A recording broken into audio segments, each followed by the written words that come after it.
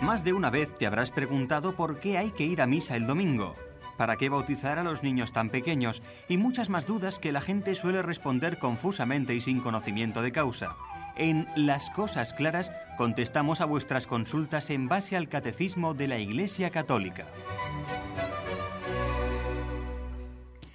Bien, precisamente el Papa Juan Pablo II, que promulgó el Catecismo de la Iglesia Católica con, eh, con esta visión amplísima de, de poner las ideas claras a todo fiel cristiano católico, Em, contra los errores ambientales, pues este mismo catecismo eh, nos impulsa hoy a continuar con el desarrollo que está haciendo el padre Agustín Miarnao, hijo del corazón inmaculado de María, claretiano, eh, aquí misionero, él estuvo en Guinea 11 años, ahora se encuentra en Barcelona y está compartiendo con nosotros este análisis que está muy bien la verdad que da mucha luz, también apoyado en, un estudio de Juan Pablo II, de los errores capitales que nos están confundiendo la mente. Es de que seamos como, como, es como, ¿saben? Un diagnóstico. ¿Dónde te duele? Pues mire, me duele aquí y toso y, y también cuando me agacho me duele por aquí. Ah, bueno, pues entonces mira, probablemente tienes esto y esto y esto tendrías que hacer este ejercicio, tendrías que tomar este alimento, tendrías que quizás probar este modo de vida. Bueno, pues el padre Agustín va a seguir eh, haciéndonos este diagnóstico. ¿eh? Vimos la última vez que padecemos de un lumbago terrible que se titula relativismo y que nos tiene muy afectados. Y el padre nos dijo que la solución contra este este error del relativismo es la escucha de la palabra de Dios. Hoy vamos con un segundo achaque, Padre, de estos que nos hacen sufrir tanto. Bienvenido, Padre. Gracias. muchas gracias. Sí, muchas gracias. Bien, pues eh, otro de los achaques fuertes es el tema del marxismo. Marxismo, socialismo, comunismo, entendido como ideología Mm, pues que trata de la revolución o el cambio de vida en el mundo, pero que tiene unas consecuencias también a nivel de fe. Entonces, ¿en qué consiste este error mm, del marxismo en relación con la Iglesia Católica? Pues gracias al marxismo, en la Iglesia Católica, en gran parte hemos pasado de procurar la salvación de las almas a la liberación de los cuerpos. Entonces, el programa de la Iglesia siempre ha sido la salvación de las almas, que todo el mundo se salve, que todo el mundo vaya al cielo. Pero con la influencia del marxismo, sobre todo pues en el siglo pasado, siglo XX, con la influencia del marxismo, pues entró en la Iglesia esta corriente filosófica y entonces todo era transformar el mundo y eh, trabajar por los pobres, con los pobres, olvidándonos de la salvación de los hombres. No digo que no se tenga que trabajar con los pobres y para los pobres, y ser pobre, además. Esto es evangelio puro, pero también es evangelio puro que dijo Jesús, el que crea y se bautice será salvado, el que no crea será condenado. Esto también es evangelio puro. Y entonces la Iglesia no es un partido político, la iglesia no es una ONG. La iglesia, la iglesia es la familia de los hijos de Dios que quiere aceptar la salvación que Cristo nos ha ofrecido con su muerte y su resurrección. O sea, el objetivo fundamental de la Iglesia es salvar a toda la humanidad, no hacer una revolución sociopolítica que, por desgracia, pues esto ha cundido en muchas personas, obispos, sacerdotes, religiosos, religiosas.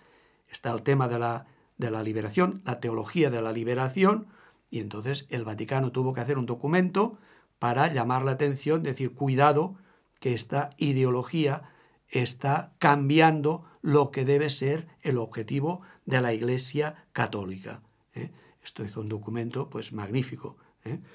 Bien, podríamos hablar mucho de este tema, pero eh, entonces voy a intentar decir en qué consiste este eh, error en cuanto a la Iglesia Católica, que más o menos ya lo he dicho, pero lo voy a decir, lo voy a repetir para que quede más claro. Se trata de una inversión del objetivo principal de la Iglesia, la salvación de los hombres por la liberación sociopolítica. De los cuerpos solo.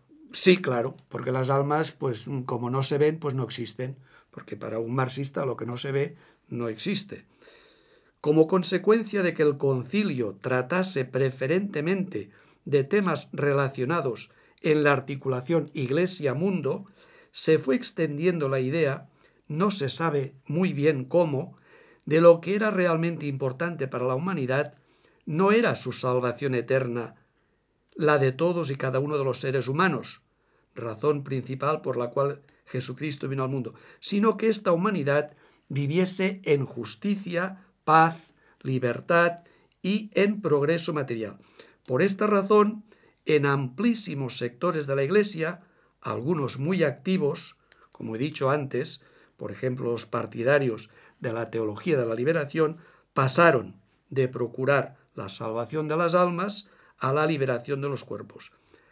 En este ambiente o en estos ambientes, hablar de la vida eterna, de la salvación en la Iglesia, era como mínimo una alienación, que es un pecado muy gordo para los marxistas, la alienación, una alienación imperdonable, algo preconciliar, que es casi el único y el más grave de los pecados que ha quedado después del concilio.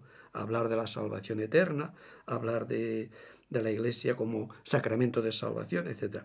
Y que curiosamente antes del concilio, pues este error no existía, este pecado no existía. He aquí pues cómo Karl Marx triunfaba en la Iglesia muchos años después de su muerte. Derivado de este error es el culto a la acción. Lo que vale es actuar, hacer cosas y cosas que se puedan ver, cosas sorprendentes. Estudiar, pensar, meditar, orar pasan a ser actividades sospechosas o por lo menos poco valoradas. Lo que vale es la acción. Esto es el marxismo, la revolución, etc. Aquí, el Papa Juan Pablo II, San Juan Pablo II, dice la primacía de la gracia. Lo que se trata primero es de ser fieles al Espíritu de Dios que actúa en nosotros, que procura nuestra salvación, la salvación de las almas y el bien de los cuerpos, por supuesto, y el bien de las personas, por supuesto, pero sin la salvación de las almas estamos traicionando al mismo Cristo.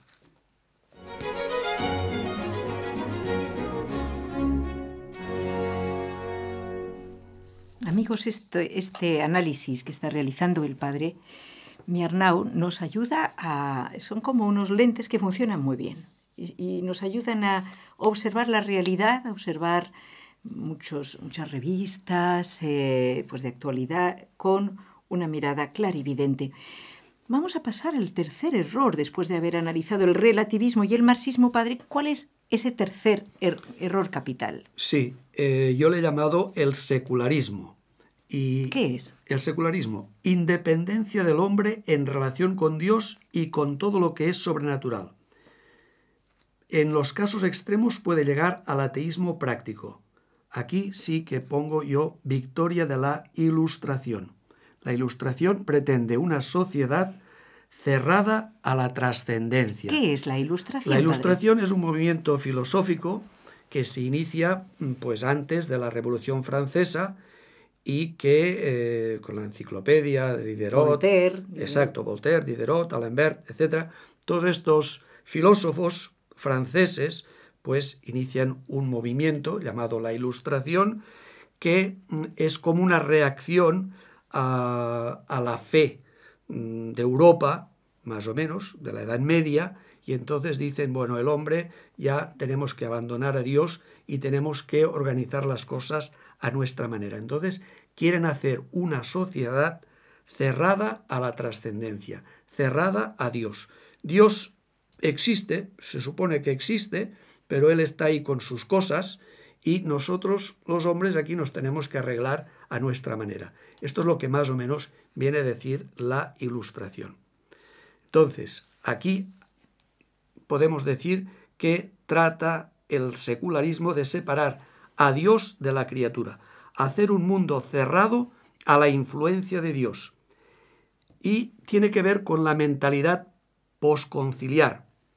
En esta mentalidad, al poner el acento casi exclusivamente en la vida intramundana, lo que vale, lo que realmente es importante es el progreso en paz, justicia y libertad de la humanidad, actualmente se suele añadir y salvaguarda de la creación, creación, la ecología, etc., y sin ninguna referencia a la necesidad de alcanzar la salvación eterna por parte de todos los seres humanos, así caen en un nuevo error los que tienen esta mentalidad posconciliar del secularismo, el de pensar que Dios no actúa, ni quiere, ni puede, ni puede entre comillas, ni puede actuar directamente en nuestro mundo.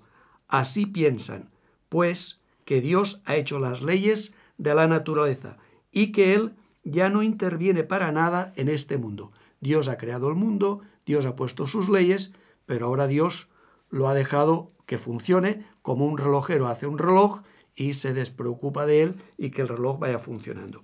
Se trata evidentemente de un error derivado de no haber entendido nada de lo que el concilio llamó autonomía de las realidades temporales. Esta es una frase que nos daría mucho para, para hablar, pero no podemos extendernos. El mismo ¿eh? concilio explica muy bien el matiz. Sí, sí. Pero como usted nos decía en el programa anterior, padre, eh, los que interpretaron mal el concilio son los que no leyeron los documentos, sino solamente a grandes rasgos y lo interpretaron falsamente. Yo creo que se aprovecharon del evento del concilio para propagar sus doctrinas falsas. Y se aprovecharon, padre, de la ignorancia, perdón que lo diga, es duro, ¿eh? de muchos católicos. Sí y de una excesiva credulidad o buena fe por parte del pueblo católico, que se creyó todo lo que le, quisieron decir. Sí. Lo malo de, esta, de este pensamiento es que eh, este pensamiento de alguna manera también ocupaba eh, ciertos cargos de las alturas dentro de la Iglesia Católica. Por eso fue todo tan fácil para conquistar las mentes de los pobres católicos que mm, desconocían los documentos del Concilio Vaticano II. Pues en esta mentalidad del secularismo, he aquí pues cómo el Dios de los hombres de la Ilustración ha terminado imponiéndose triunfante en la mentalidad de los hombres ilustrados de nuestra Iglesia. Un Dios a nuestro servicio. Ni siquiera esto, un Dios con sus quehaceres y nosotros vamos a lo nuestro. Es como un Dios relegado en las alturas. No se le niega abiertamente, pero dice, bueno, dice, Él tendrá sus cosas, nosotros tendremos las nuestras. Por supuesto, aquí Jesucristo ya no pinta nada en esta concepción del secularismo, el mundo entendido como secularismo, ¿no? Y esto ha dado paso al laicismo, ¿no? Naciones que sean laicas. Esto es absurdo. Una, nación puede ser aconfesional, pero laica a santo de qué. ¿Qué significa una nación, una nación laica? Una nación laica, por ejemplo, es Francia. Una nación laica es una nación que ha dicho, pues aquí la religión no, nos interesa, no creemos en la religión, no creemos en la, no creemos en, en la fe, no creemos. ¿Con qué derecho? Ahí está. O sea, esto es una es una un abuso, ¿no? Un abuso por parte de unos cuantos. Claro, esto es una imposición de una ideología en un país determinado. Un estado laico no tiene derecho a existir como laico. Un estado puede ser aconfesional, es decir, que no se casa con ninguna religión, pero laico ya es tomar partido por algo en que dice, nosotros en Dios no creemos. Como dice a algunos países, no sé si queda alguno, creo que sí, que dice, este régimen es ateo, como Albania. Albania, ahora actualmente creo que no, pero durante muchos años Albania era un Estado por definición ateo. Entonces, ¿a santo de qué? ¿Y quiénes son ustedes para decir lo que tiene que ser un Estado? Si tiene que ser respeto a todas las religiones, porque cada uno puede pensar pues en su Dios, a su manera, pero laico, ateo, esto no tiene sentido. Bien, pues en esta mentalidad de la secularización, del secularismo, no hace falta orar. ¿Para qué? Dios está ahí, pero no hace caso. No hace falta orar para nada, ni para que se cure una enfermedad, porque Dios ya ha hecho las leyes, se curará si las leyes son propicias o no, ni para que llueva o deje de llover, ¿para qué? Dios ha hecho sus leyes, pues dejemos en paz a Dios y no le molestemos para que llueva, para que deje de llover, ni que cesen las guerras, porque si los hombres somos malos, pues hacemos las guerras, etc. En esta visión del secularismo, los milagros evidentemente no existen. Me parece que no hace mucho me dijeron, mira, tal libro de un, una persona, un eclesiástico, que viene a negar la existencia de los milagros. Los milagros no existen para esta mentalidad, ni han existido nunca, ni siquiera los que encontramos en la Biblia, que son explicados racionalmente. La multiplicación de los panes y los peces. Dice, no, no, no, no. Lo que pasó es que compartieron la comida, lo que cada uno llevaba, y entonces, claro, hubo para todos y sobró. Esto no lo dice la Biblia. Se multiplicaron los panes y los peces. Tampoco se puede decir que sobraron panes. ¿Y cómo van a sobrar panes si no se multiplican? Si solamente había cinco panes y dos peces. Hay que decir las para cosas. Para cinco mil personas. Para cinco mil personas. Sí, sí. Hay que decir las cosas como son. Sí.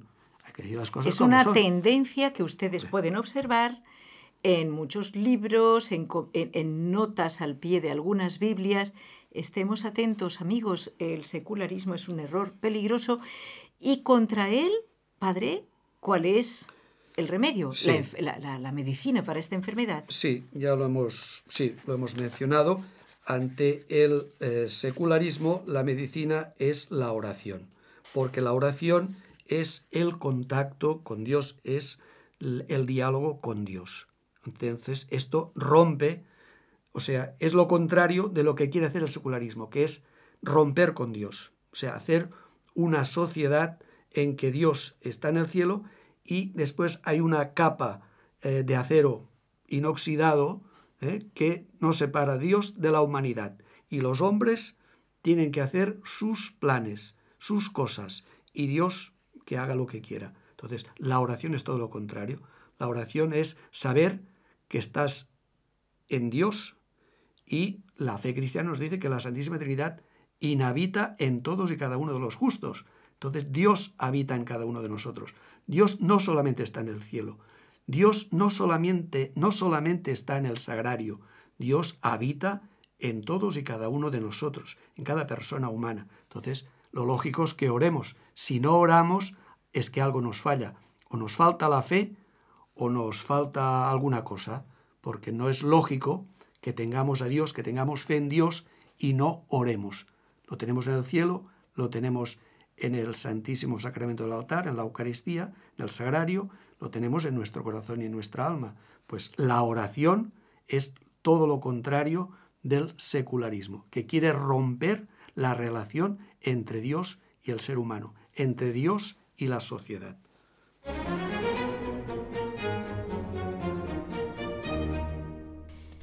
Cuarto error, el ateísmo.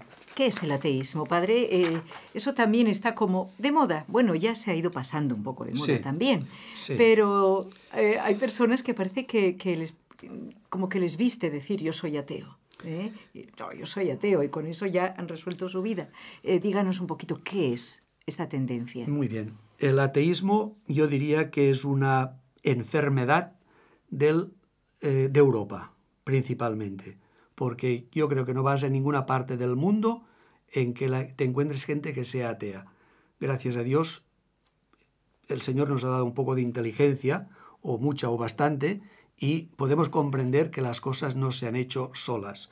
Y las personas que no han sido manipuladas en la universidad, que es donde se pierde la fe en el 90% de los casos, si uno no está manipulado por estos filósofos ateos, pues por naturaleza el hombre es creyente.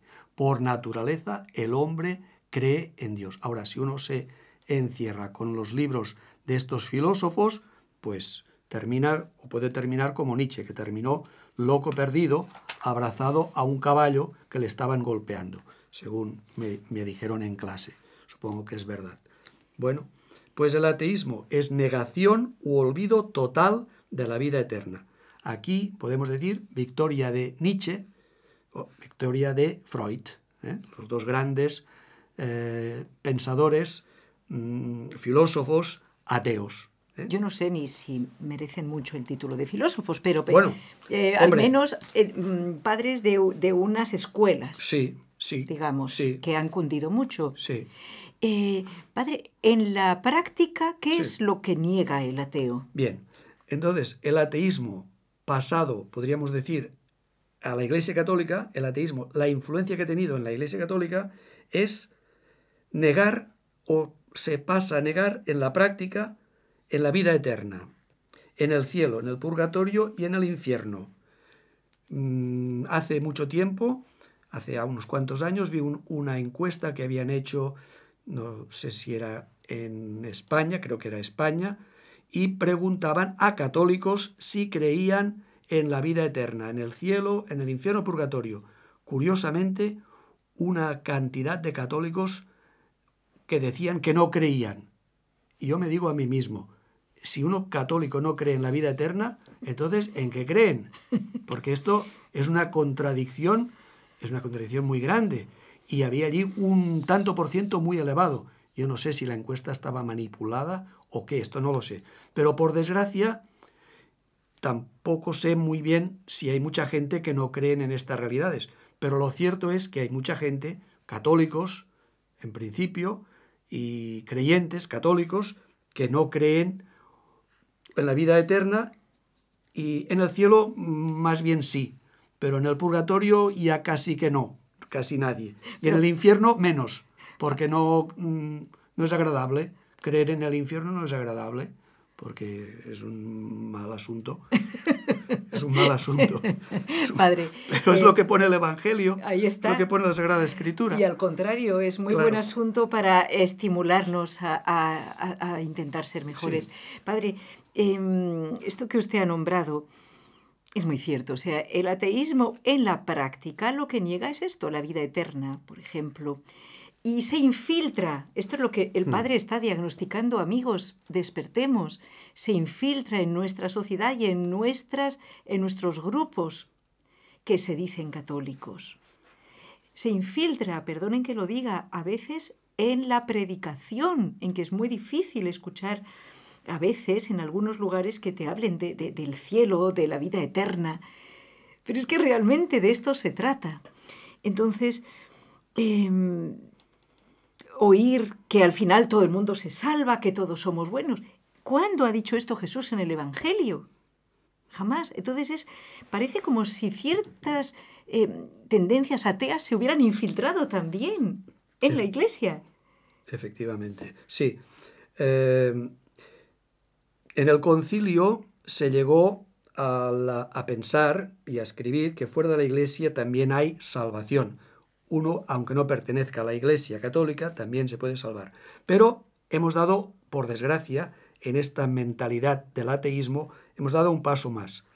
De- hemos pasado de creer que fuera de la iglesia católica la gente también se puede salvar, a decir, que es cierto, a decir, claro que sí, es- cierto, es cierto, es pero hay que explicarlo bien. Es cierto, evidentemente, pero se ha pasado a decir que todos estamos salvados. Exacto. Entonces no es, No es muy difícil asistir a unas exequias de un difunto y el sacerdote dice, bueno, nuestro hermano que ya está en el cielo, que no, no sabemos si está en el cielo, Claro que no. puede estar en el purgatorio, puede estar en el infierno, no lo sabemos, queremos que esté en el cielo, ojalá.